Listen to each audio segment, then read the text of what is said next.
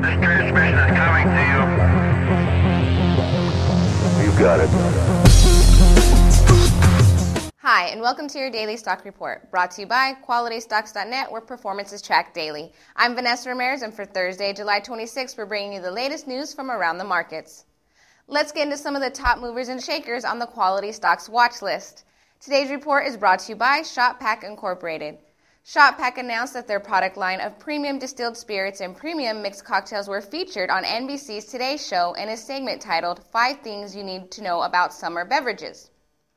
ShotPak Incorporated is an Irvine, California based company and is a leading distiller of cocktails and straight spirits and patented portable single serving recyclable plastic pouches with a built in spout, making it easy to pour anywhere. My Vintage Baby Incorporated has been a favorite in the past few weeks due to its strong momentum and it is now looking like the $3 mark could be broken in the near future.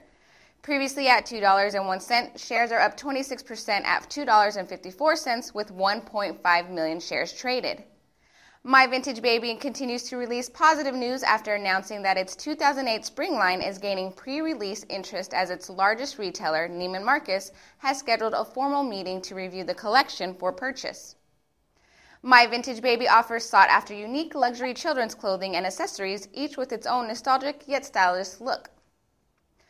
Pearl Asian Mining Industries Incorporated announced Tuesday that the company will allow a three day settlement period for the company's mandatory 95% buyback.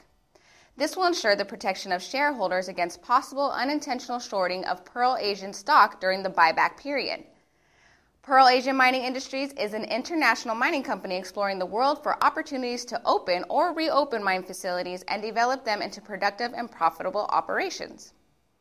Amera Resource Technologies announced Wednesday that the unaudited revenues of the subsidiary for the first six months of 2007 has increased by approximately 315%. Amera Resource is a diversified holding company with headquarters in Las Vegas, Nevada.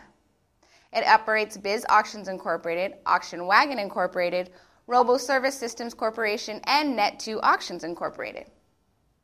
Infinity Medical Group announced last week it has signed a development agreement with Sherway Dental to provide financing for all equipment purchases. Infinity Medical Group Incorporated is a medical financing company focusing on the cosmetic dentistry and elective surgery and finances both medical and dental professionals in the acquisition of facilities and equipment technology. And that's our newsmaker. Stay tuned right here to Quality Stocks Daily for the latest news from small cap to large cap and everything in between by QualityStocks.net, where performance is always tracked daily. Thank you for tuning in. I'm Vanessa Ramirez. Have a great day, and we'll see you here tomorrow, right here on the Daily Report. This transmission is coming to you. You got it.